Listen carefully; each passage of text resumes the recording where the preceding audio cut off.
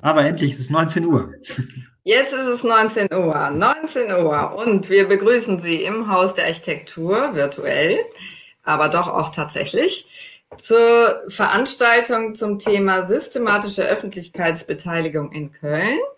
Ähm, wir haben zwei Referenten eingeladen. Eigentlich hatte ich geplant, die beiden vorzustellen, aber da ich nur von einem den Text bekommen habe, habe ich gedacht, wir könnten das jetzt auch umändern und sie stellen sich gleich selbst nochmal vor.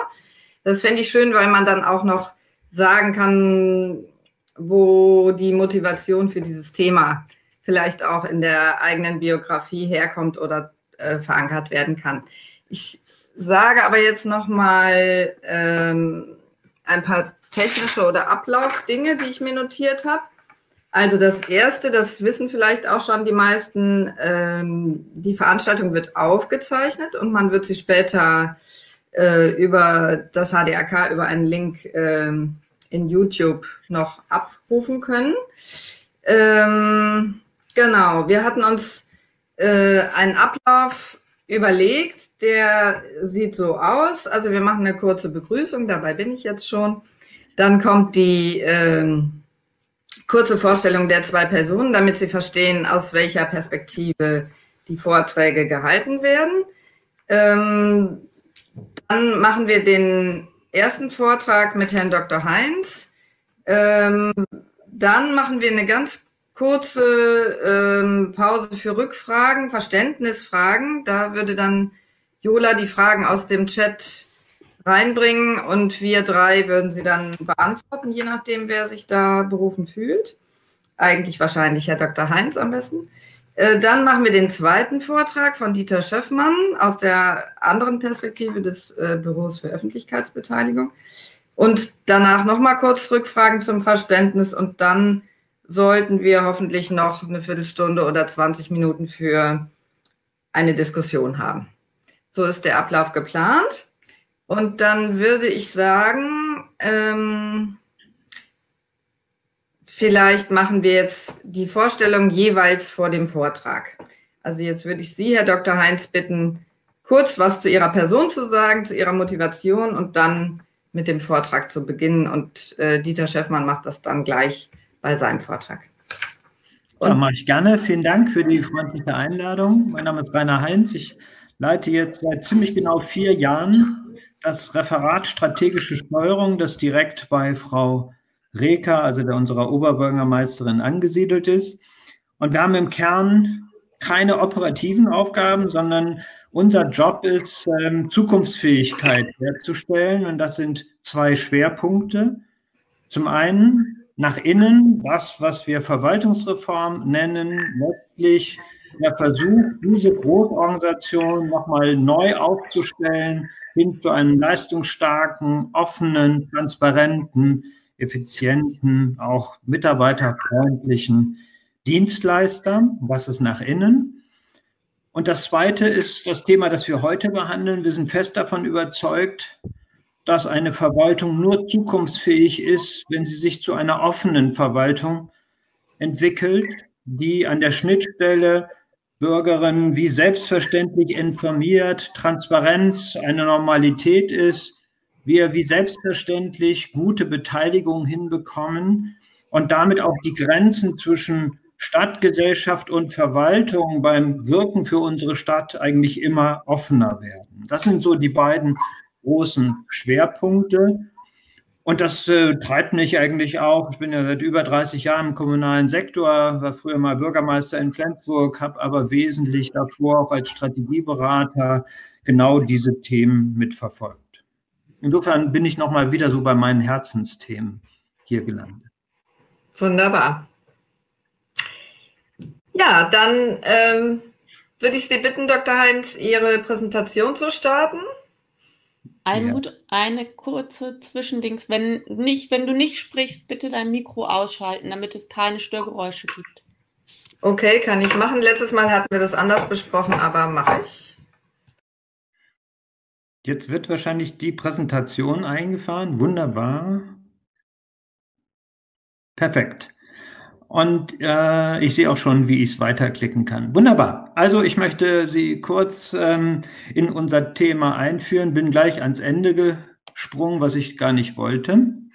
Ähm, worum geht's? Äh, ich will nicht direkt mit unserem Projekt anfangen, sondern ich will noch mal mit so ein paar Grundgedanken anfangen. Diejenigen, die jetzt hier in unserer Stadt Verantwortung haben und dieses Thema Öffentlichkeits Beteiligung vorantreiben und entwickeln wollen, sind der festen Auffassung, dass man Stadt im Dialog gestalten muss, dass das alte Bild, dass man Städte noch hierarchisch zentral planen könne, schlichtweg nicht mehr funktioniert. Und es hat nichts mit mangelnder demokratischer Legitimierung zu tun, sondern mit einem neuen, anderen Verständnis, das Bürgerinnen zu Recht an die Gestaltung ihres Gemeinwesens haben. Und das hat letztlich zwei Ebenen. Das eine ist die oft diskutierte Ebene, dass schlichtweg Verfahren, Projekte, Prozesse besser werden, wenn wir sie mit Bürgerbeteiligung unterstützen. Wir kriegen mehr Wissen rein, wir kriegen eine deutlich bessere Legitimation hinein. Und was man oft nicht glaubt, die Projekte werden nicht ineffizienter, sondern sie werden zumeist effizienter, weil wir Störungen, die am Ende alles aufhalten und schwierig machen, dadurch äh, vermeiden. Das ist allerdings nur die eine Ebene. Die zweite finde ich ehrlich gesagt mindestens genauso wichtig, nämlich Bürgerbeteiligung auch als ein ganz wichtiges Element in unserem Kampf gegen Politikverdrossenheit und Populismus zu, zu verstehen. Denn wenn wir Bürgerbeteiligung machen und sie gut machen, dann erleben sich eben Bürgerinnen nicht mehr als Subjekte nach dem Motto die da oben, sondern sie erleben sich selbst wieder als Objekte, ähm, nee, Quatsch, nicht als Objekte, sondern als Subjekte äh, äh, politischen Handelns. Sie wissen, sie spüren wieder, dass es auf sie ankommt, dass ihr Wort zwar nicht alles entscheidet, aber gleichwohl Gewicht hat. Das ist der eine Punkt, den wir, glaube ich, ähm, beachten sollten. Und das Zweite, das halte ich für genauso wichtig. In dem Moment, wo man sich in Bürgerbeteiligung hineinbegibt, erlernt man auch, dass es gar nicht so einfach ist, zu gemeinschaftlich getragenen Lösungen zu kommen. Es ist viel einfacher zu sagen, die da oben müssten doch einfach nur A, B oder C tun. In dem Moment, wo ich das in einem Diskurs mit anderen tue und erfahre, die anderen finden aber F bis Y deutlich spannender, gibt es auch ein Erleben, wie man Konflikte diskutieren muss, äh, wie viel Anstrengung und auch Herzblut man reinstecken muss und aber ehrlich gesagt auch, wie viel Kompromissfähigkeit man haben muss, um letztlich hier mitmischen zu können. Damit das aber klappt, kann man schon auch aus, nicht nur aus unserer Sicht in Köln, sondern auch generell aus der Erfahrung mit Bürgerbeteiligung sagen, dann gibt es so ein paar Erfolgsfaktoren, auf die muss man unbedingt achten. Und das eine ist, ähm, dass man Bürgerbeteiligung nicht dann einfach nur machen kann, wenn es Politik und Verwaltung gerade gefällt, nach dem Motto, jetzt hätten wir euch gerne, aber bei dem anderen Thema nicht, sondern wenn man das ernst nimmt, dann muss quasi Bürgerbeteiligung ein Bürgerrecht sein, das nach ganz systematisch klaren, möglichst weitgehenden Verfahren entschieden wird. Zweitens kann man immer wieder feststellen, gerade am Anfang von Bürgerbeteiligung ist es ganz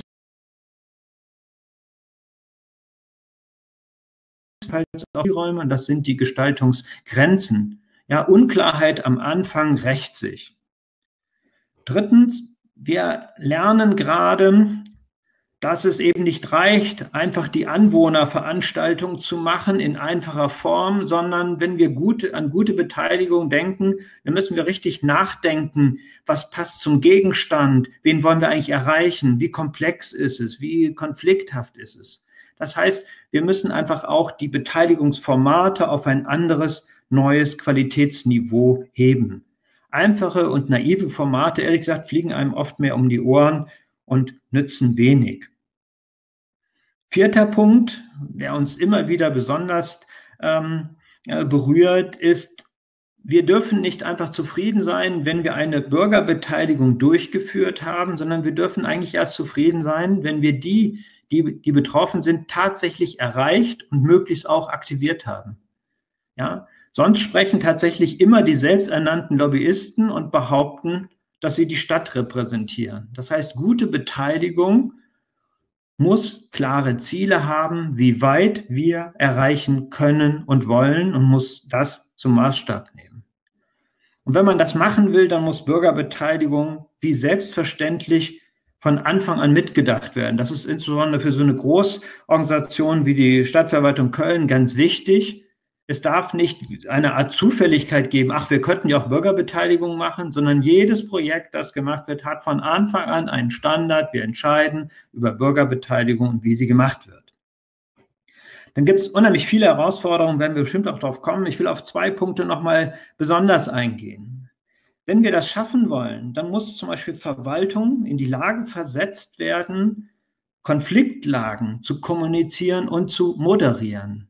Und das mag sich vielleicht keiner vorstellen, aber das gehört nirgendwo zur Ausbildung von Beamten und Verwaltungsangestellten. Niemand hat quasi per se systematisch gelernt, wie man gut kommuniziert, wie man vielleicht gewaltfreie Kommunikation macht, wie man moderiert macht.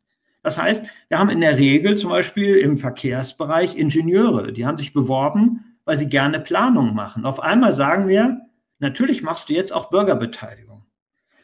Das heißt, wir müssen sicherlich einen breiten Qualifizierungsprozess, wir müssen auch mit Ängsten umgehen. Es gibt einfach auch Menschen, denen das schlichtweg Angst macht, sich in einer Öffentlichkeit hinzustellen und die freie Rede zu, zu führen und dann vielleicht noch Konflikte zu, zu moderieren. Und das ist bei so einer 20.000 Mitarbeiterinnen ähm, ähm, Verwaltung durchaus ein ähm, umfangreiches Projekt. Und das Zweite finde ich auch in politischer Hinsicht interessant. Solange Politik glaubt, dass sie dann erfolgreich ist, wenn sie jeweils ihre eigenen Vorstellungen durchsetzt, ist Bürgerbeteiligung eigentlich schon, schon tot. Ja, weil es geht dann eigentlich nur darum, egal welches Verfahren ist, am Ende zu sagen, das, was ich wollte, haben wir letztlich durchgeführt. Wenn man Bürgerbeteiligung ernst nimmt, muss es ein Politikverständnis geben, das sagt, wir müssen wertegetrieben in einen Diskurs kommen und wollen diesen Diskurs zu einem möglichst sein Verständnis und was eigentlich Erfolg ausmacht. Ich komme da ganz zum Schluss nochmal drauf zurück, weil ich da nochmal sagen möchte, dass ähm, Bürgerbeteiligung dann mehr ist als nur Prozesse und Strukturen und Veranstaltungen. In Köln hat das 2015 angefangen, äh, diese Diskussion. Ich will das gar nicht im Einzelnen ausführen. Es war, glaube ich, ein langer, zäher Kampf, äh, bis sich Verwaltung und Politik darauf eingelassen haben. Im Nachhinein kommt einem das wie ein sehr langer Prozess vor, ähm, aber das macht gar keinen Sinn mehr zurückzugucken. Aber es ist, äh, es hat eine lange Vorgeschichte und es gibt viele Kämpferinnen und Kämpfer, die das überhaupt erst ermöglicht haben, dass wir dort sind, wo wir heute stehen. Wichtig ist, bevor wir jetzt nochmal auf das ganz Konkrete kommen, dass ich zunächst nochmal unseren Kölner Anspruch deutlich machen will. Denn den halte ich wirklich für besonders, nämlich besonders weitgehend und besonders qualifiziert und im Vergleich so mit anderen Kommunen in Deutschland auch für den weitestgehenden Ansatz. Das will ich kurz äh, auf zwei Folien darstellen. Unser Grundziel ist, dass Kölnerinnen und Kölner grundsätzlich zu jeder Beschlussvorlage der Verwaltung eine Öffentlichkeitsbeteiligung anregen können. Das ist der weitestgehende Anspruch, den wir überhaupt haben können. Ja? Das heißt, es gibt keine Beschränkung in Köln, dass es nur bestimmte Projekte sein sollen, dass es nur bestimmte Handlungsfelder sind, sondern wir wollen am Ende unseres Projektes dieses quasi Bürgerrecht auf Bürgerbeteiligung realisiert sehen. Das ist was ganz anderes. Die meisten anderen Kommunen, die auch eine gute Öffentlichkeitsarbeit haben, die machen entweder tolle, bunte Großprojekte, das ist natürlich auch immer viel wert, oder es gibt sogenannte Vorschlagslisten, wo irgendwelche Gremien entscheiden, dazu machen wir eine Bürgerbeteiligung und hierzu machen wir nicht. Das halte ich eben schon für zutiefst undemokratisch und falsch aufgesetzt. Und wir haben uns in Köln dafür entschieden, dass wir diesen weiten Anspruch haben. Damit man das aber herstellen kann, quasi dieses Grundrecht auf Bürgerbeteiligung, äh, muss man das in der Verwaltung organisieren. Und wir haben das so gemacht, dass wir jede Beschlussvorlage der Verwaltung, die im Bereich systematische Öffentlichkeitsbeteiligung ähm, kommt, mit einer Kurzbegründung versehen, und zwar als Standard. Wenn man dann hinter reinguckt, können Sie das am Ende sehen. Wir empfehlen eine Bürgerbeteiligung, ja, nein, warum und in welcher Art und Form. Ja, das heißt, wir schaffen bereits mit, der, mit dem Erstellen der Vorlage die Grundlage dafür, dass über Bürgerbeteiligung entschieden wird. Und dann entscheidet aber, und das ist auch nochmal ein Unterschied zu dem, was in den meisten Kommunen passiert, dann entscheidet nicht einfach Politik, ja, mach doch äh, Bürgerbeteiligung und den Rest macht die Verwaltung eigenverantwortlich, sondern wir haben als Verwaltung eine Bringschuld dem Ausschuss und künftig auch dem Rat, ein detailliertes Beteiligungskonzept vorzulegen, womit wir immer sichtbar machen, mit welchem Aufwand wollen wir herangehen, mit welchen Verfahren wollen wir wen wie erreichen. Und letztlich hat das politische Gremium damit immer die Möglichkeit zu steuern, zu sagen, macht mehr, macht es anders, versucht noch bestimmte Zielgruppen zusätzlich zu, zu erreichen. Das heißt, wir schaffen ein Maximum an Entscheidungsqualität, indem wir wirklich die Bringschuld der Verwaltung dort ziemlich hochfahren. Wichtig, in Köln entscheidet dann jeweils immer das sachlich verantwortliche Gremium über das Ob und Wie. Es gibt also keine Nebenprozesse über irgendeinen Bürgerausschuss oder ähnliches, sondern es gibt immer den Zusammenhang zwischen Sachlichkeit und Bürgerbeteiligung. Und das Letzte, was ich hier noch erwähnen will, wir haben dabei eben ein Ziel, das habe ich schon mal angesprochen. Wir wollen versuchen, jeweils in jedem Verfahren die Perspektive und Bedürfnisse aller vorrangig von einer Angelegenheit betroffenen Zielgruppen einzubeziehen. Das ist eben ein qualitativer Anspruch und sagen nicht, na gut, wenn die nicht kommen, sind die ja selbst schuld, sondern wir wollen es auf uns nehmen, uns Gedanken zu machen, diese Zielgruppen zu erreichen. Wir werden nachher sicherlich darüber sprechen, dass das gar nicht so leicht zu realisieren ist. Deswegen heißt es auch Leitziele. Aber ich finde es schon wichtig, dass wir immer im Kopf haben, was unser Anspruch ist, an dem wir uns langfristig auch messen lassen wollen. Vielleicht weil dieser Anspruch auch wirklich ein hoher ist, war es gar nicht so leicht, 2018, als wir das vom Grunde her stehen hatten, einen positiven Beschluss zu kriegen, sondern wir haben eine ziemlich heftige Diskussion bekommen, auch in der, in der Verwaltungsspitze nach dem Motto, die Vorteile klingen ganz schön, aber schaffen wir das überhaupt? Werden wir überrannt? Ähm, legen wir uns nicht selbst lahm? Und das hat dazu geführt, dass wir 2018 nicht den von einigen erhofften Beschluss bekommen haben, das machen wir jetzt flächendeckend und wir starten, sondern es ist ein Pilotversuch beschlossen worden. Und wir haben das letztlich getestet von 2019 bis eben äh, Juni 2020 mit dem Ausschuss für Umwelt und Grün und der Bezirksvertretung Nippes. Und wir haben quer dazu jeweils ein Verfahren aus dem Bereichen Sport, Kultur, Stadtplanung und Stadtverkehr gemacht. Das haben wir alles systematisch äh, dokumentiert und ausgewertet. Und ähm, ich versuche das hier so ganz kurz und natürlich damit vereinfachen zusammenzufassen. Vom Grunde her kann man sagen, das, was wir uns an Verfahren und Methoden ausgedacht haben und für eine Großverwaltung auf Dauer funktionsfähig sein will, das klappt also diese Beschlüsse, die ergänzt werden, die Entscheidungsverfahren, das funktioniert und der Aufwand ist längst nicht so hoch, wie viele befürchtet haben. Trotzdem haben wir schon aus diesem, dieser kurzen Phase da von 18 Monaten ziemlich viel gelernt. Ich will nur vier Punkte hervorheben. Wir haben festgestellt, dass das schönste Verfahren nichts nützt, wenn viele Leute gar nichts davon wissen. Ich sage das mal so platt. Das heißt, wir müssen noch viel, viel mehr dafür werben, dass es diese Verfahren jetzt überhaupt gibt. Wir müssen in der Kommunikation viel, viel breiter werden. Ja, das hatten wir als Ansatz systematisch mitgedacht, aber wir schaffen jetzt zum Beispiel im Büro für Öffentlichkeitsbeteiligung eine Stelle, die nichts anderes macht, um die Verfahren kommunikativ aufzusetzen und zu unterstützen. Zum Beispiel so eine Lernerfahrung. Zweitens haben wir eben auch mit großer Engagement und viel Fachwissen der KFA angefangen, stille Zielgruppen zu erreichen. Wird Dieter Schöffmann sicherlich auch gerne was zu sagen. Da sind wir längst noch nicht äh, am Ende. Wir sind gerade, würde ich mal sagen, tastend am Anfang. Ja, aber es macht schon auch Spaß, sowas auszuprobieren und es macht auch Spaß zu sehen, dass man da Menschen erreicht, die sonst niemals vorher sich an irgendetwas äh, äh beteiligt haben. Wir müssen aber auch beobachten, dass es in den politischen Gremien wir dann aber oft mit einer Frage konfrontiert werden, und was denkt denn die breite Mehrheit? Ja, das heißt, ähm, qualitative Verfahren unterschiedlicher Perspektiven ist sicherlich ein wichtiger Punkt. Wir werden uns genauso viel Gedanken machen müssen, wie wir letztlich auf der Ebene von Meinungsforschung und Meinungsbefragung auch sowas wie breite repräsentative Votings hinbekommen, weil das immer mehr Teil von politischer Unterstützung ist. Und der vierte Punkt, das will ich hier der Ehrlichkeit halber auch erwähnen, Altprojekte, die sicherlich nicht optimal gelaufen sind und zum Teil weiterhin parallel laufen, belasten einfach auch die Glaubwürdigkeit unseres Vorgehens. Ja, weil hier machen wir ein Projekt nach diesen neuen Maßstäben und direkt daneben läuft ein Projekt auch mit großem Interesse und großer Wichtigkeit und läuft eben noch nicht nach diesen Kriterien. Das muss man aushalten. Es ist völlig unrealistisch, Altprojekte in das neue System zu übernehmen, weil dann müsste man sie völlig neu aufsetzen.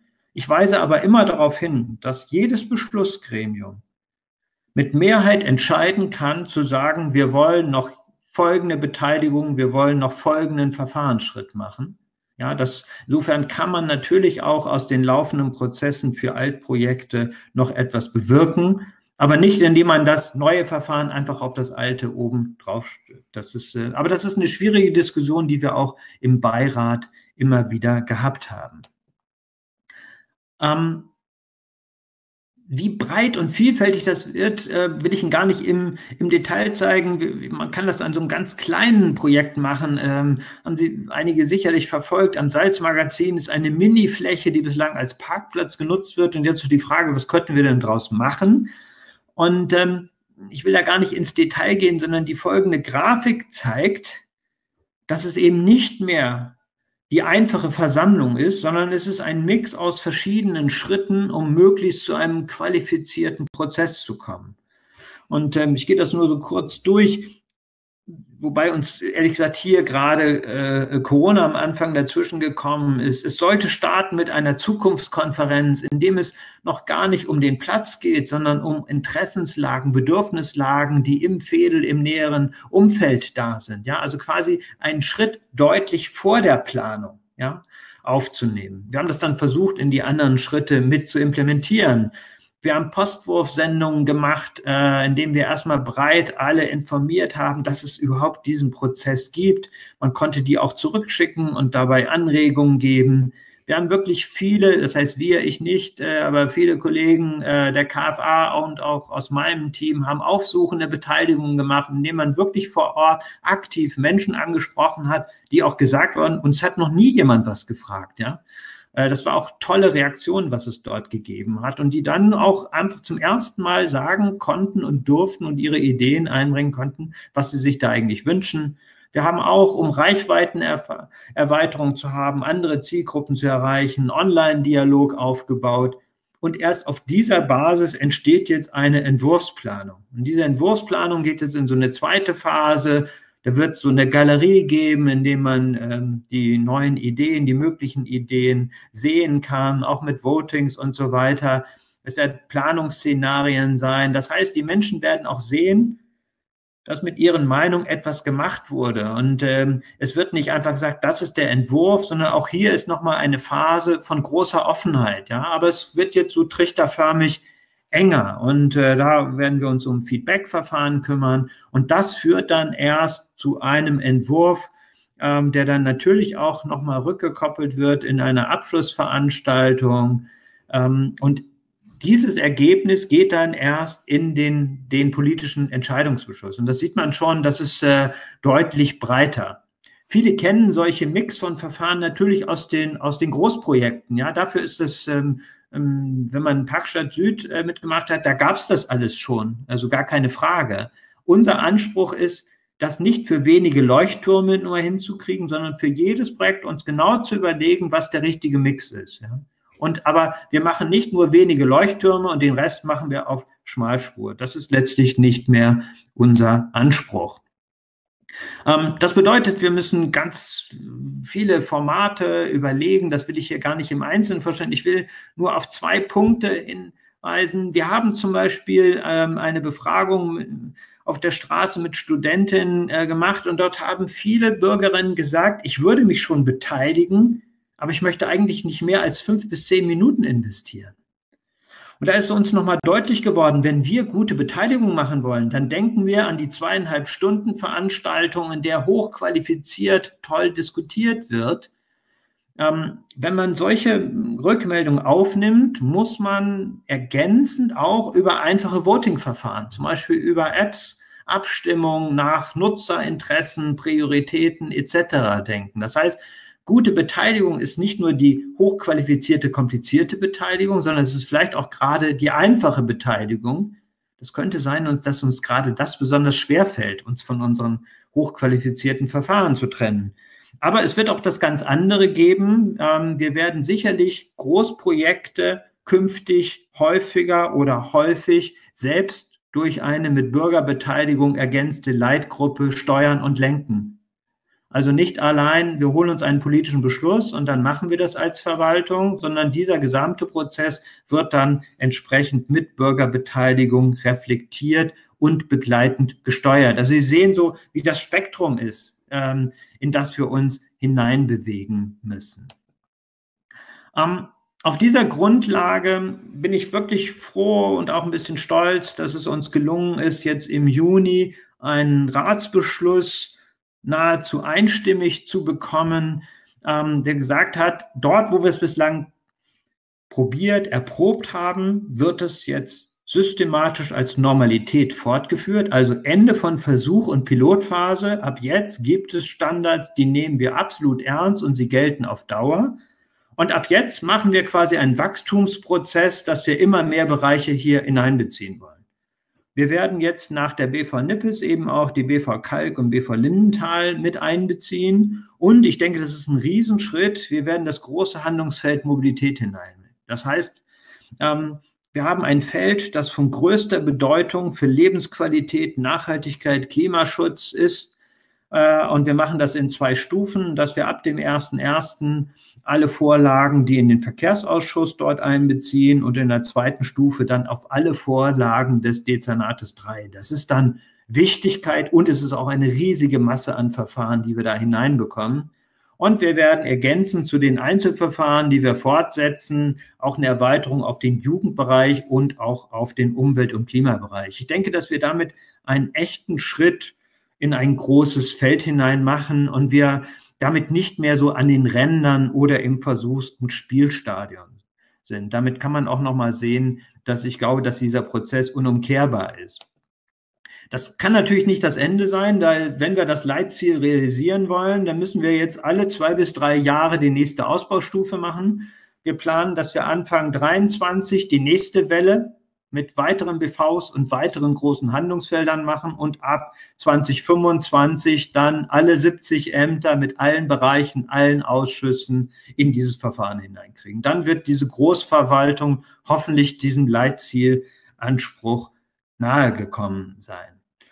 Das ist so der Prozess und ich will das äh, allerdings jetzt noch abschließen mit einer allerletzten Folie, wenn Sie mir das erlauben, indem ich noch mal ein bisschen auf das ähm, Thema komme, worauf müssen wir ein bisschen achten. Ich habe sehr stark beschrieben, dass wir vom Grunde her immer ein Dreieck planen aus besserer Ergebnisse und Akzeptanz durch passgenaue Beteiligungsverfahren und Formate und dass wir das immer planen müssen in Abhängigkeit von Thema, Offenheit, Aufwand und Verfahrensdauer. Das ist quasi die, die, die Sachebene und das ist auch unser Job, das gut hinzukriegen, gar keine Frage. Ich glaube, wir müssen uns aber alle, die wir an solchen Verfahren Interesse haben und mitwirken, uns klar machen, dass es einen Faktor gibt, der von wesentlicher Bedeutung ist, ob das Ganze in eine gute oder nicht so gute Richtung geht. Und das ist das große Thema Beteiligungskultur. Und diese Beteiligungskultur wird von Politik, Bürgerinnen und Verwaltung gleichermaßen geprägt. Bürgerbeteiligung funktioniert nur, wenn es uns gelingt, ein Verständnis zu haben, dass es um Verstehen geht, dass es um Verstehen und Verständnis für andere, auch abweichende Positionen geht, dass es um Akzeptanz von Andersdenken geht und wir in einen verständigungsorientierten Prozess hineingehen. Nur wenn es, je mehr es uns gelingt, dass diese drei Akteursgruppen in jedem Projekt diese Haltung an den Tag legen, umso besser wird es uns gelingen. Uns muss aber bewusst sein, dass das keine Selbstverständlichkeit ist, dass wir es nicht erwarten dürfen, dass es in Projekten so ist, Und wir müssen immer erwarten, dass es sowohl innerhalb der Verwaltung als auch in der Politik, aber ehrlich gesagt auch auf der Seite von Stadtgesellschaft, es einfache Interessen gibt. Ich setze meine mir richtig erscheinende Haltung möglichst rabiat durch. Ja, uns, das heißt, wir werden alle, wenn uns das Thema wichtig ist, für eine Beteiligungskultur streiten müssen. Und ich glaube, dass uns das insbesondere im Feld Mobilität, Stadtplanung, das sind dann schon Felder, ich glaube, wo wir da vor echten Herausforderungen stehen. Deswegen ist es mir wichtig, auch nochmal daran zu äh, appellieren, dass wir möglichst auch immer für eine Kultur von Kommunikation und Diskurs kämpfen.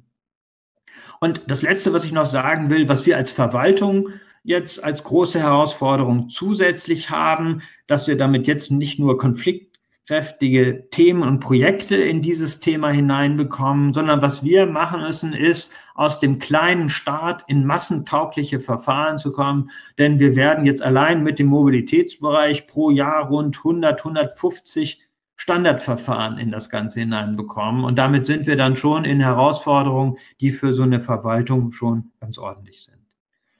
Das vielleicht zum Abschluss. Damit habe ich so versucht, so aus meiner Sicht den Rahmen zu skizzieren und danke Ihnen für Ihre Aufmerksamkeit.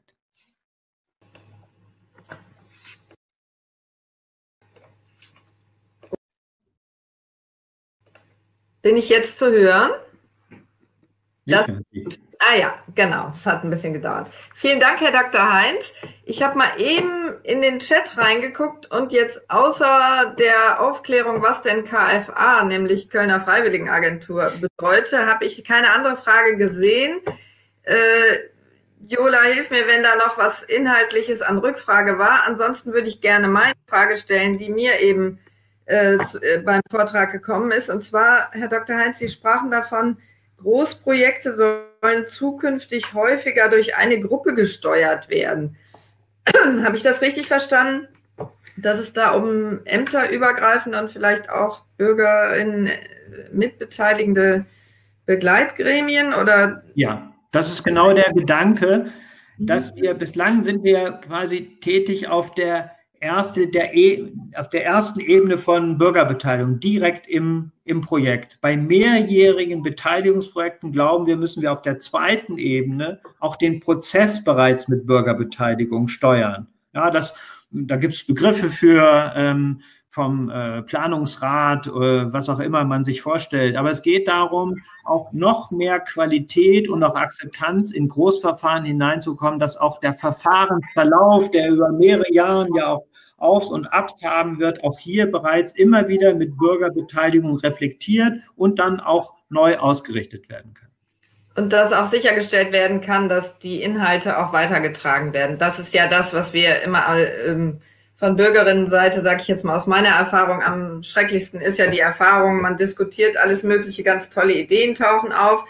Man geht äh, ganz inspiriert aus Veranstaltungen und denkt, das wäre ja jetzt mal toll, wenn das mal umgesetzt würde und äh, dann fragt man sich, wieso höre ich eigentlich nichts mehr davon? Und ein paar Jahre später denkt man, äh, dann hört man etwas oder sieht Planungen und sagt, äh, Moment mal, da gab es aber doch noch ganz andere Diskussionen, wo sind die eigentlich geblieben? Und genau. dies ist ja eine typische Erfahrung und äh, genau, das wäre schön, wenn man die in Zukunft nicht mehr haben müsste. So, ähm, es gibt noch äh, Fragen. Ähm, einmal, du hattest gesagt, dass nachgefragt wurde nach der KFA, der Kölner Freiwilligenagentur. Vielleicht können Sie kurz beantworten, was sich hinter dem der Kölner Freiwilligenagentur versteckt, vielleicht mit zwei, drei Sätzen, damit das alle verstehen. Ähm, Herr Otto hatte eine Frage gestellt, die wir aber mehr in die Diskussion nachher einbringen. Und jetzt stellt noch Herr Roderer die Frage, wenn von Projekten oder Großprojekten und den Absichten der Stadt Köln zu mehr Beteiligung privaten Investoren. Also kurz Kölner Freiwilligenagentur oder ob städtische oder auch private Investorenprojekte gemeint sind. Also ich wäre dafür, Kölner Freiwilligenagentur könnte Dieter Schäffmann gleich bei seiner Vorstellung erklären. Gut. Zu den Fragen, welche Projekte sind gemeint? es ist immer die Frage, wie ein Projekt auch planungsrechtlich aufgesetzt und eingeordnet wird. Da haben wir auch gerade ja die Diskussion beim Max-Becker-Gelände. Es ist ja, glaube ich, gelungen, ähm, wirklich sicherzustellen, dass wir dort Verfahren bekommen, für die dann auch Bürgerbeteiligung äh, keine Gnade ist, sondern äh, einfach auch äh, gesetzlich gesichert und entsprechend gemacht wird. Äh, wir wissen, dass es andere Projekte in dieser Stadt gibt, in denen die Verfahren so nicht aufgesetzt wurden und dann tatsächlich auch Private in relativ großer Eigenmächtigkeit ihre Planung vorantreiben müssen. Das werden wir sicherlich bei künftigen Beschlüssen von Anfang an viel besser im Blick haben müssen, ähm, damit wir dort auch sichern, dass dort, wo Bürgerbeteiligung sinnvoll und notwendig ist, wir es dann auch wirklich machen können. Ich würde gerne noch mal sagen, es geht ja nicht nur um stadtplanerische Projekte. Also Projekte, da assoziiert man immer Bauprojekte. Aber der Witz eigentlich an dieser Öffentlichkeitsbeteiligung ist, dass es auch äh, auf ganz andere Dinge zugreift. Zum Beispiel der Kulturentwicklungsplan oder es kann was Abstraktes. Ja. Es sind nicht nur Bauprojekte gemeint. Und das ist auch äh, genau das, was das so umfänglich macht, im Gegensatz auch zu anderen Kommunen vielleicht. Mhm. Hatten wir dann jetzt alle Fragen, die jetzt zwischendrin noch kommen sollten, erledigt, Jola? Ich glaube ja, ne? Ja, das ist dann soweit erledigt. Da kann Herr Schöffmann jetzt weitermachen. Genau, Dieter Schöffmann fängt jetzt mit seinem Vortrag an, der vielleicht ein bisschen kürzer sein könnte, damit wir vielleicht noch zehn Minuten am Ende diskutieren können. Das werden wir am Ende sehen. Ist immer kritisch, wenn am Beginn gesagt, ich fasse mich kurz, das wird meistens länger. Ich stelle mich kurz vor, vielleicht kann dabei schon die Präsentation eingeblendet werden. Dieter Schöffmann, freier Projektmitarbeiter, Teilzeit bei der Kölner Freiwilligenagentur in dem äh, Bereich Büro für Öffentlichkeitsbeteiligung, stadtgesellschaftlicher Teil. Ansonsten bin ich seit 1990 selbstständig mit Öffentlichkeitsarbeit und so die letzten 20 Jahre überwiegend mit Konzeption, Beratung rund um Bürgerengagement, ein bisschen Bürgerbeteiligung, sei es eine Engagementstrategie für die Kommune Wolfsburg, äh, Beratung von gemeinnützigen Organisationen, ein weites Feld. Mein Handwerk habe ich gelernt in den 70er und 80er Jahren als Friedensbewegter, als Organizer, als Aktionstrainer für äh, gewaltfreie direkte Aktion, äh, kenne aus eigener Praxis äh, die ganze Bandbreite von Flugblätter verteilen, kleine und Großdemonstrationen auch mit ein paar hunderttausend organisieren, bisschen ziviler Ungehorsam äh, und den dazugehörigen Prozessen. Also solange es gewaltfrei ist, äh, bin ich vor nichts fies und kenne das Spektrum. Und das ist sicher ein Hintergrund oder ein roter Faden, die die, die Stärkung, das Empowerment von gesellschaftlichen Organisationen Protest. Äh, die Präsentation bitte. Die Kölner Freiwilligenagentur. Äh, ist seit über 20 Jahren in Köln unterwegs, in vielen Feldern tätig. Sie versteht sich aber auch als Entwicklungsagentur, also Themen aufgreifen, die rund um Bürgerengagement, Partizipation eine Rolle spielen und äh, ist äh, äh, ja, sie in ihren Details vorzustellen, wäre wahrscheinlich, würde die, die Vortragszeit nehmen unter köln-freiwillig.de können Sie ein Bild machen, was da alles möglich ist. Ein Aspekt der Kölner Freiwilligenagentur, wie gesagt, ist auch äh, gesellschaftliche Themen aufgreifen. Und so war es dann 2012, ähm, dass die Kölner Freiwilligenagentur so die Ereignisse um Stuttgart 21 aufgegriffen hat, die Nichtbeteiligung und hier eine Veranstaltung angefangen hat mit weiteren Akteuren aus der Stadtgesellschaft, die letztendlich zum Ziel hatten, ich glaube im dritten Anlauf, nochmal das Thema Bürgerbeteiligung auf die Agenda setzen. Da fing das nämlich schon an oder streng genommen Leitbildprozess Köln 2020, Kölner Netzwerk Bürgerengagement, also noch 10, 15 Jahre vorher schon immer wieder Versuche, Leitlinien für Bürgerbeteiligung äh, zu implementieren in der Stadt. 2012 war dann immerhin so erfolgreich, dass daraus dann Ratsmitglieder äh, Anträge gestartet haben, aus der dann der Ratsbeschluss letztendlich rauskam, auch diese Pilotphase, die Herr äh, Dr. Heinz ja vorgestellt hat, auf den Weg zu bringen.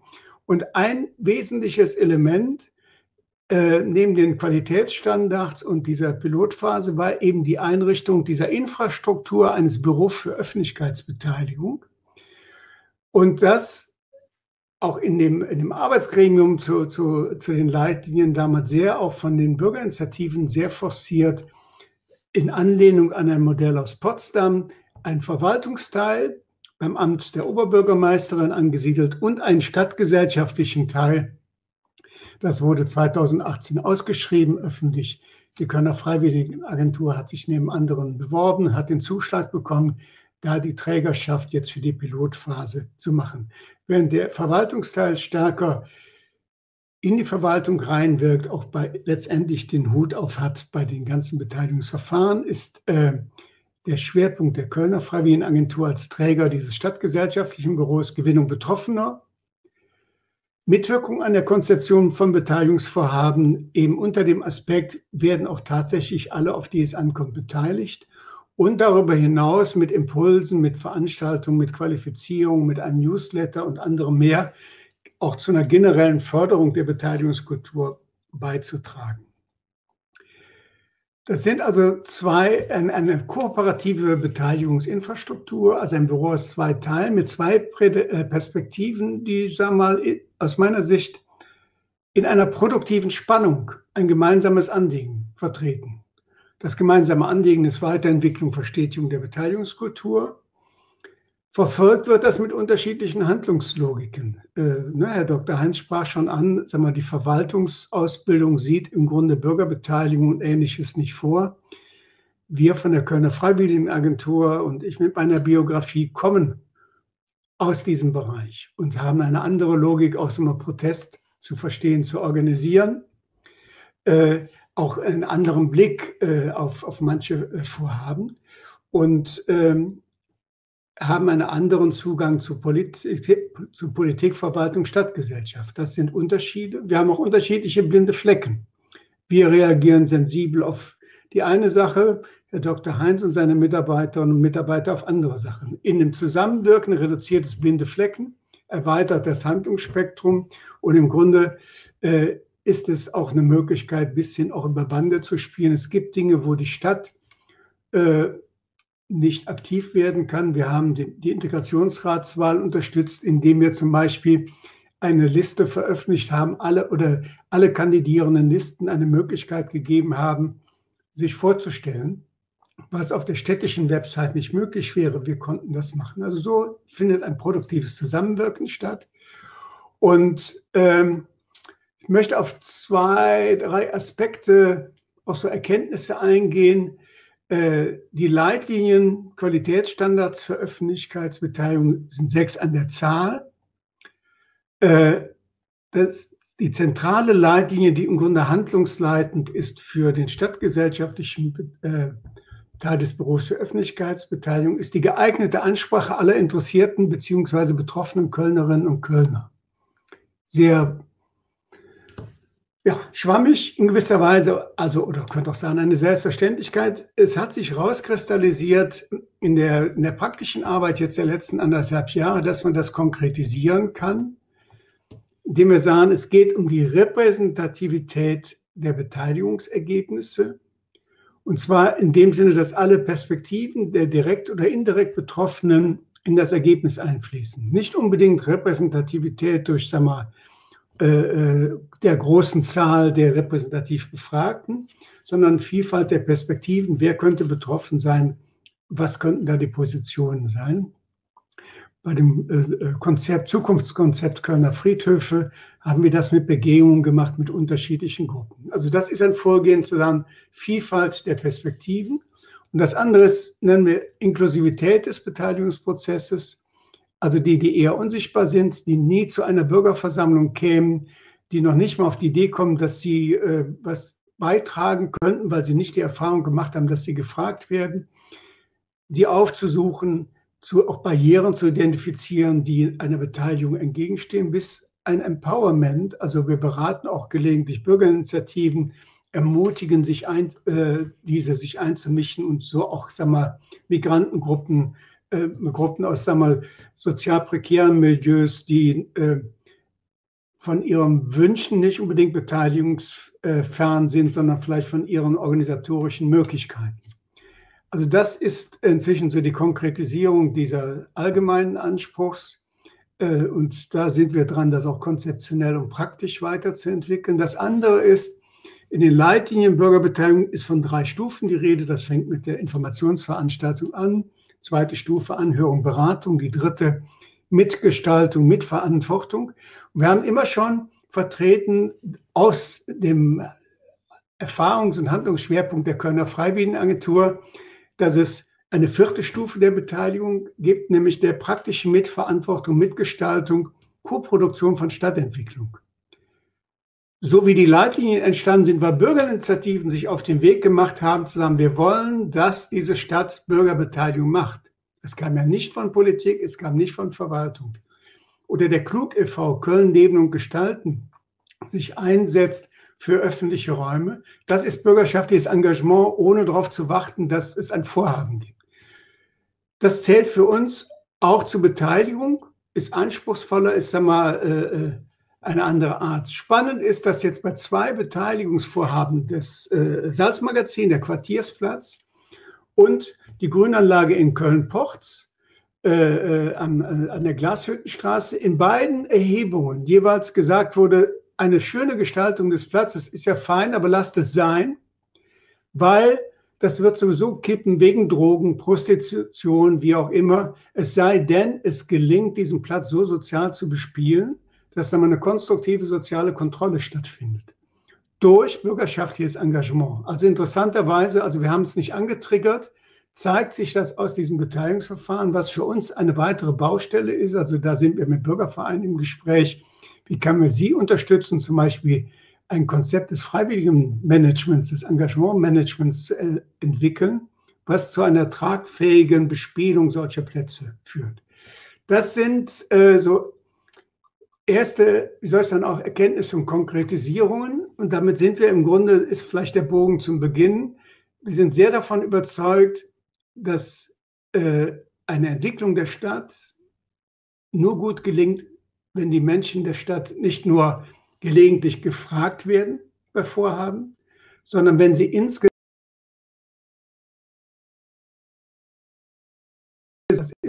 Und die andere Seite ist das auch Zulassen von Politik und Verwaltung, also dass ein Rat nicht sagt, aha, wir sind, wir sind die Herren und Damen, wir wissen, wo es lang geht, sondern immer wieder auch zu, zu achten auf Initiativen aus der Stadtgesellschaft, was sind da die Impulse und es mit ihnen zu machen? Und genauso ein Lernen in der Verwaltung mit diesen unbequemen, engagierten Bürgerinnen, die auch immer meinen, sie wissen, wo es lang geht, dass man gemeinsam in den Dialog geht und so Stadt entwickelt. Das ist so unser Ansatz und das ist sicher die produktive Spannung im Verhältnis auch dieser beiden Büros.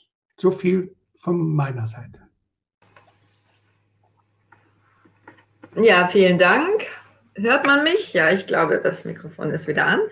Ähm, vielen Dank, Dieter Schöffmann, dass du dich kurz gefasst hast. Sehr gut. Und äh, ich habe jetzt mal den Chat so ein bisschen gelesen, jetzt keine weiteren direkten Fragen gesehen. Äh, ich kann jetzt im Chat nicht gleichzeitig schreiben, nur als Erklärung dafür ist äh, Jola da. Nicht, dass jemand meckert, dass ich da jetzt nicht drauf antworte. Ähm, mir persönlich äh, hat jetzt nochmal sehr gut gefallen, diese Abschlussthematik, Dieter, die bei dir kam, sozusagen zu sagen, aus der Bürgerinitiativen-Szene heraus, also dieses nur gegen etwas sein, das, das kann doch nicht äh, das Ende der Fahnenstange sein, sondern es muss eigentlich darum gehen, äh, dann positiv äh, auch was beizutragen. Und ganz spontan fallen mir da mehrere Dinge ein, zum Beispiel der Tag des guten Lebens ist so ein schönes Beispiel. Der letzte Tag des guten Lebens hatte 150.000 Besucher hier in Ehrenfeld. Ich habe auch selbst als Mitmacher daran teilgenommen. Also es ist unglaublich, was man auf die Straße bringen kann. Ähm, natürlich von Organisationen, die den Einzelbürgern dabei helfen. Also nicht jeder Bürger kann das allein, aber man kann da schon sehr viel machen. Und wenn man jetzt Hallen Kalk oder auch Raum 13 sieht, da gibt es ja ganz interessante Ansätze, die wirklich aus der äh, Bürgerschaft herauskommen und ähm, das wäre meiner Meinung nach schön, äh, wenn man mehr diese Kreativität nutzen würde, um, um insgesamt eine Stadt voranzubringen. Das war aber jetzt mehr ein Plädoyer von mir und das darf ich eigentlich gar nicht als Moderatorin. Ähm, Jola, gibt es noch Fragen? Ja, es, es, kommen jetzt schreiben ein paar Leute. Also eine ist jetzt konkret da. Ist auch die dauerhafte Beteiligung der Bürger und Kunden im Sinne einer agilen, kontinuierlichen Weiterentwicklung auch in einfachen Bestandsverfahren bereits diskutiert worden?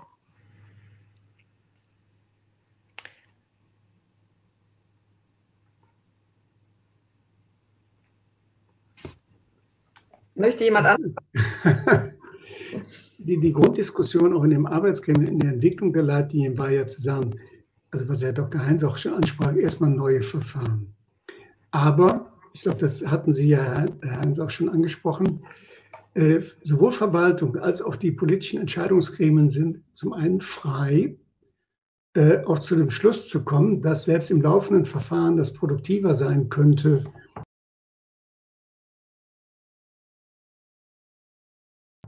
aber das vorhabenbezogene Vorgehen.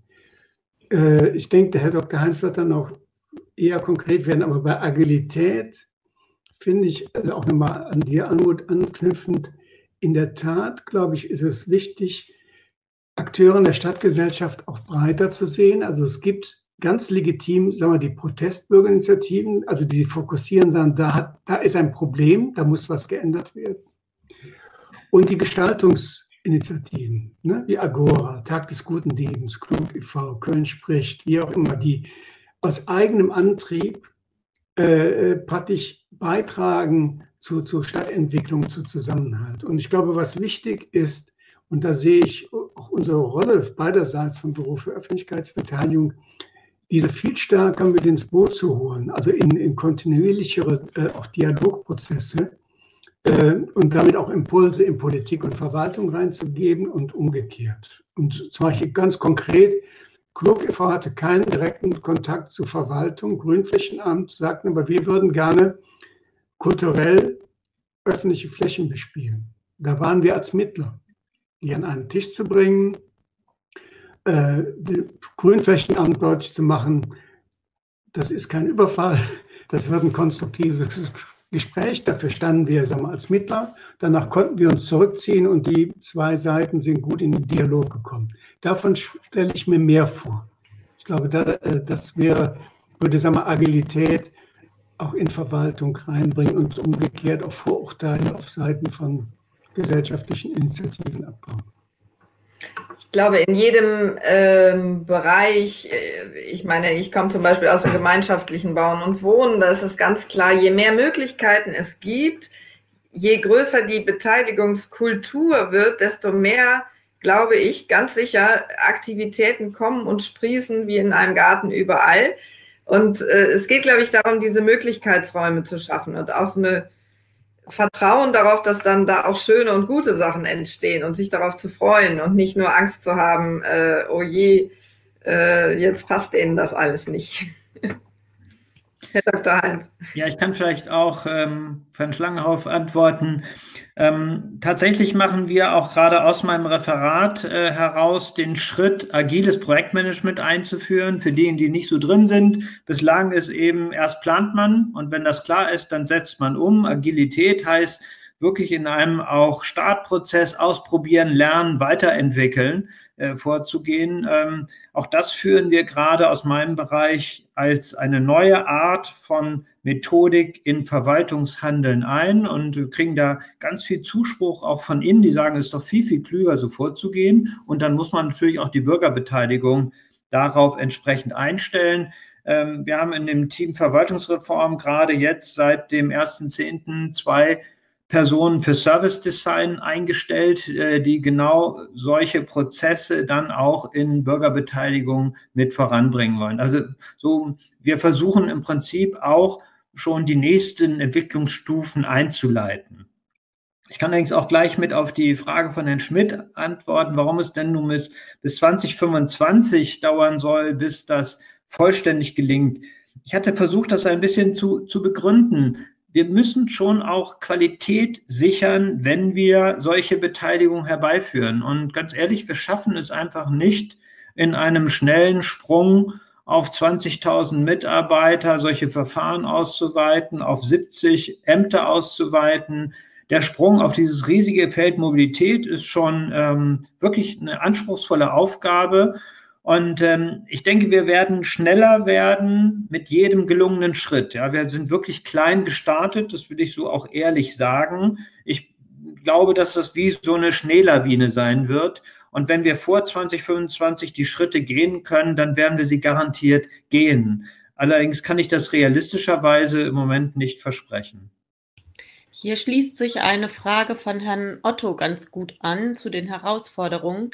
Er fragt, ähm, auf welche Art und Weise lässt sich eine für den Dialog bereichernde Haltung in die Verwaltung hineintragen? Das heißt, wie sehr müssen sich Verwaltungen ändern, da ein, eine Dialogkultur im klassisch hierarchischen System oft nicht allzu ausgeprägt ist?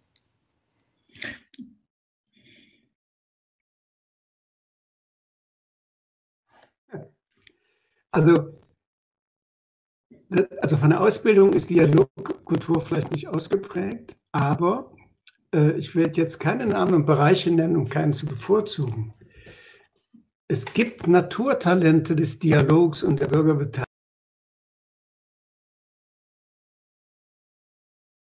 Äh, die zugleich auch ein gutes Standing in der Verwaltung haben. Wenn, wenn mit den Beteiligungsverfahren gelingen, sind das aus meiner Sicht wichtige Botschafter, die auch sagen wir, die Erfahrung gemacht haben, also in einem Beteiligungsverfahren haben die eine Auswertung hergedacht, gesagt, also sie haben da einen Projektplan vorgelegt, eine Vorgehensweise, da konnten wir uns nicht vorstellen, dass das klappt, aber wir haben uns mal darauf eingelassen. Es hat funktioniert. So, also da ist ein Lernen und sagen wir auch eine, eine positive Erfahrung zu sagen, da ist ein Ergebnis, das war, es war ein Aufwand, aber im Sinne eines Investments dass sie zu einer besseren Qualität gekommen sind. Das sind Botschafter in die Verwaltung rein. Ich glaube, die werden wichtiger sein, als das, äh, Dr. Heinz kann da vielleicht noch einwirken, wir sicher nicht. Ne? Also wenn wir sagen, werde man dialoghafter, das ist dann so von außen. Aber ich glaube, das ist ein wichtiger Strang und das, das knüpft an an die Frage Qualität.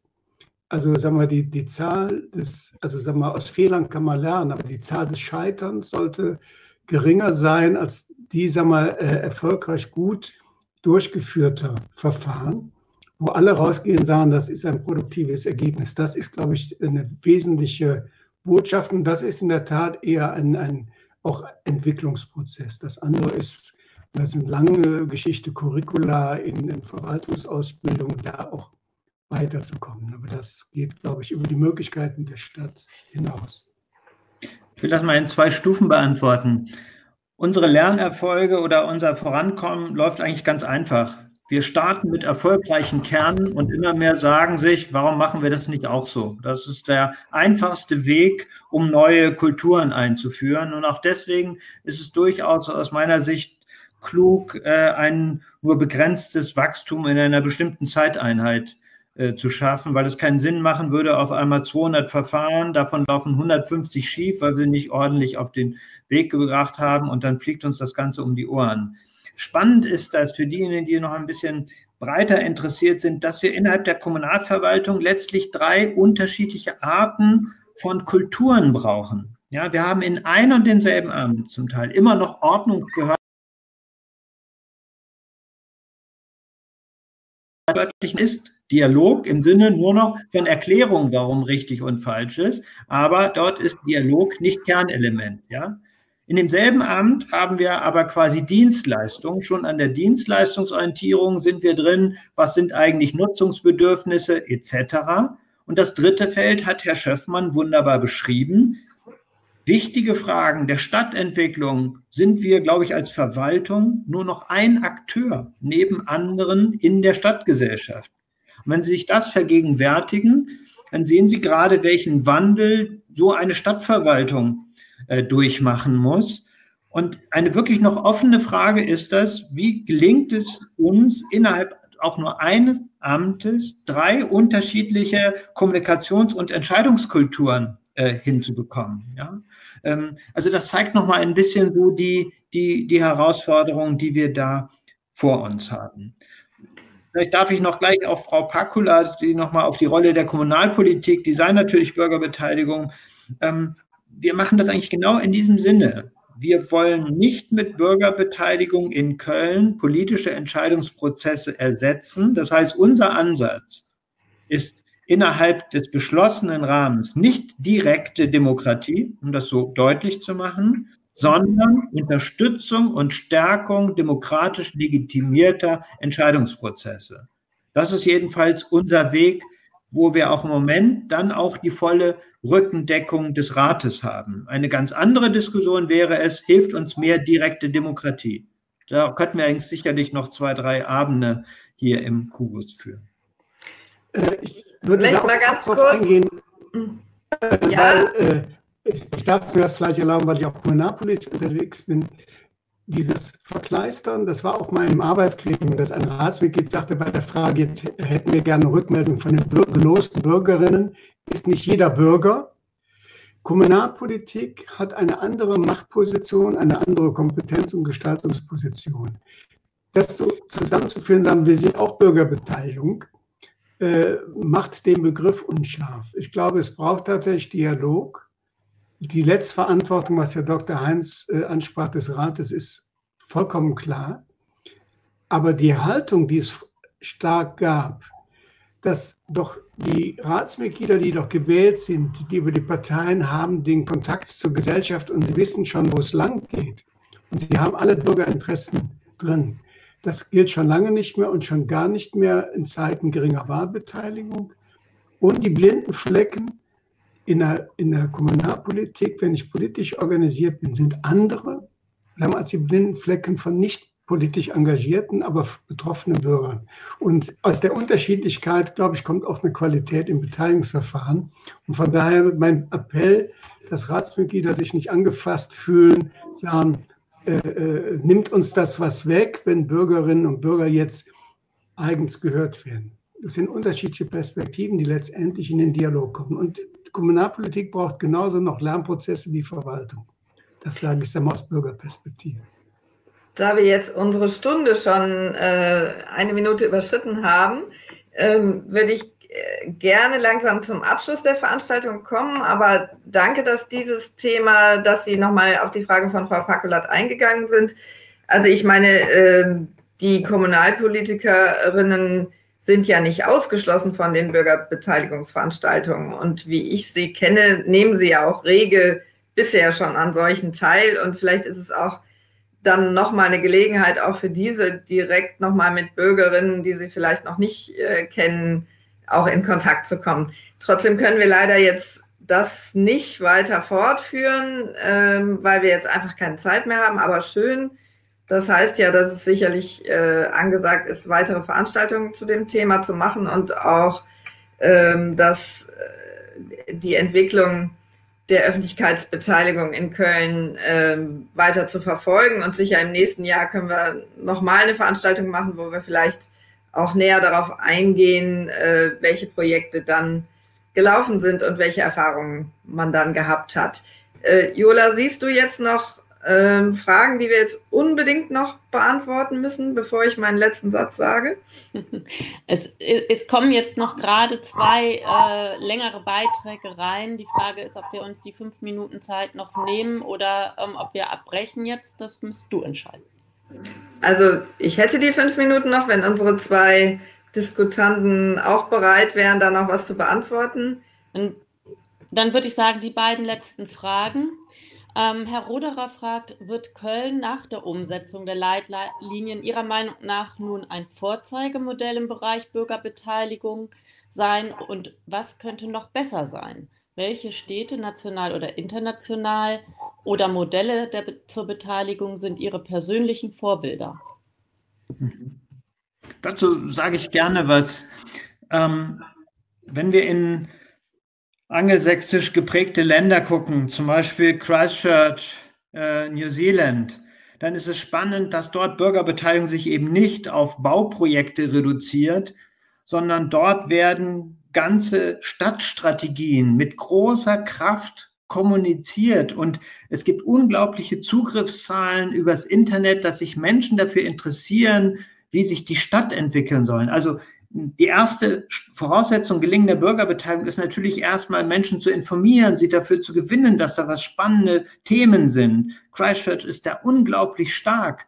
Und wenn die dann zum Beispiel aufrufen, äh, sich am äh, Haushalt zu beteiligen, wir haben ja auch so einen Begriff Bürgerhaushalt, dann geht es nicht um kleine Mini-Projekte, die wir am Ende voten, wer 5000 Euro kriegt, sondern dort wird wirklich mit großer Beteiligung quasi abgestimmt, welche Teilstrategien welches Gewicht haben sollen. Ja? Und das, finde ich, geht eben über einzelne Projekte hinaus und wird auch meinem Bild von letztlich einer Bürgerkommune nochmal deutlich näher. Aber das hat sicherlich auch was mit angelsächsischen Traditionen äh, zu tun. Also das wäre so mein Bild, äh, dass wenn es richtig gut funktioniert, wir auch irgendwann in einer solchen Art von Bürgergesellschaft leben.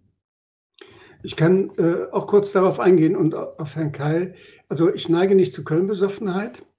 Äh, von daher, ob wir Vorbild sind, weiß ich nicht. Allerdings, wir haben im Juni drei Veranstaltungen gemacht. Äh, äh, die dritte war mit externen Expertinnen und Experten, unter anderem Professor Selle, so einer der Gurus der Bürgerbeteiligung.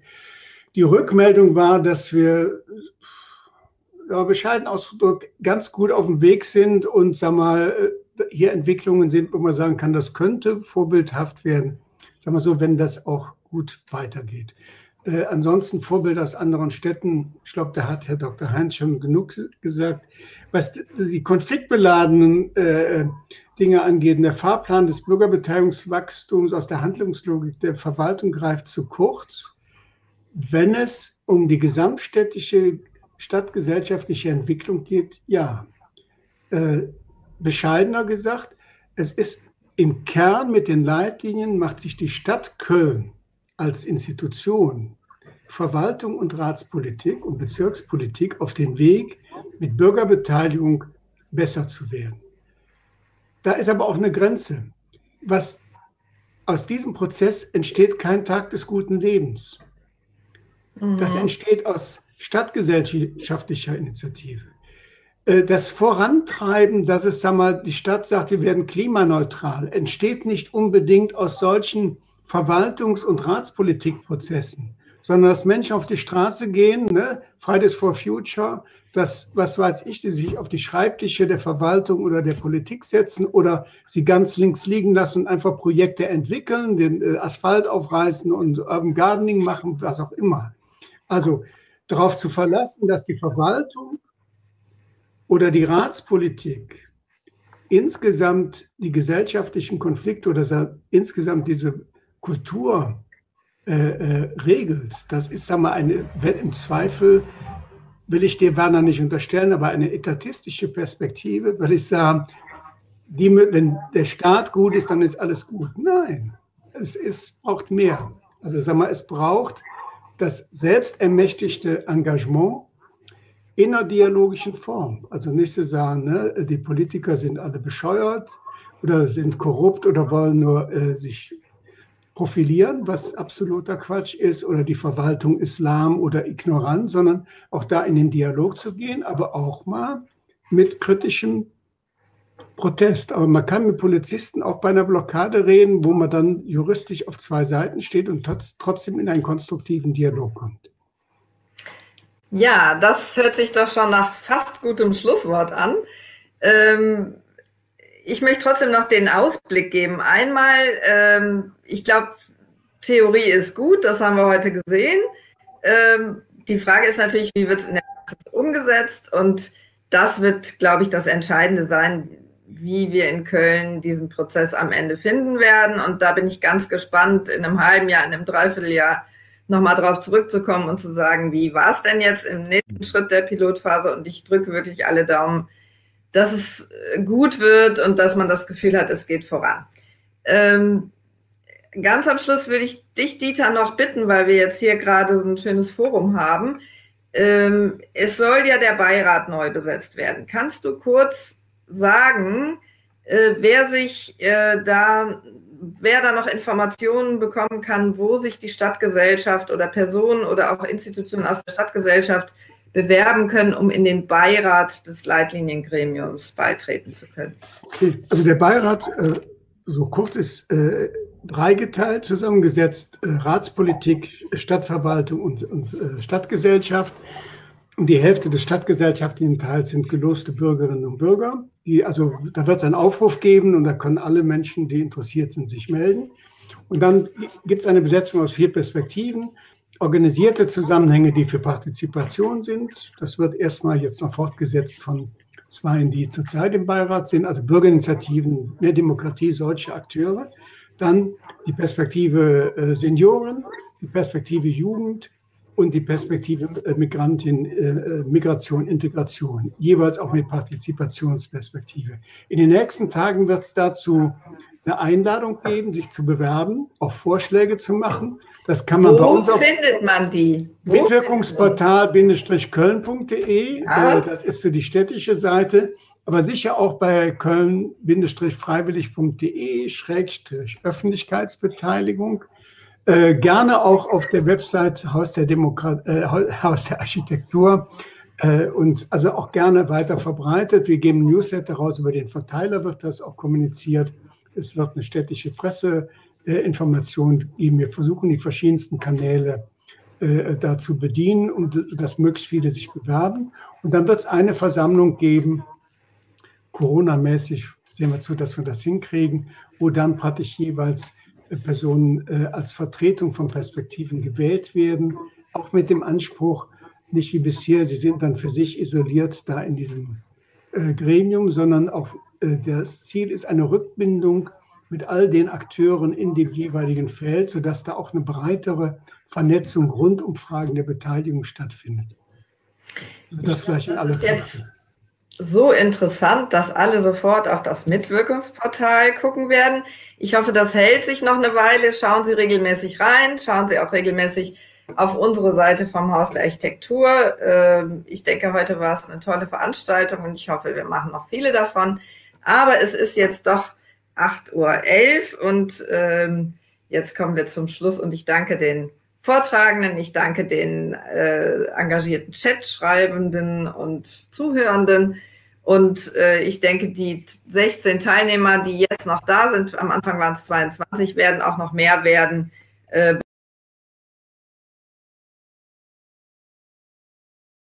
Vielen Dank Ihnen allen und einen schönen Abend. Auch herzlichen Dank. Tschüss. Tschüss.